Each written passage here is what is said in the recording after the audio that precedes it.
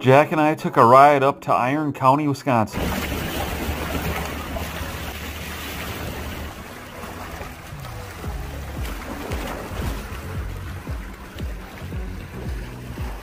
how much lower the Banshee's um back. Yeah. It, it was hitting so many rocks. I was watching it. I hope you guys are having a good Sunday. Jack and I are up in Saxon Harbor, Wisconsin.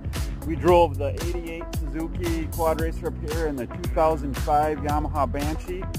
And we're on the south shore of Lake Superior.